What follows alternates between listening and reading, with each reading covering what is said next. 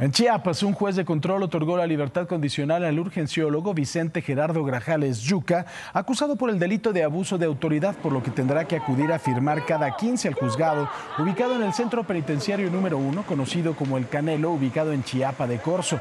Vicente Gerardo Grajales agradeció el apoyo que ha recibido por parte de los familiares y amigos para enfrentar la situación legal que atraviesa. Insistió en que es inocente y es acusado falsamente.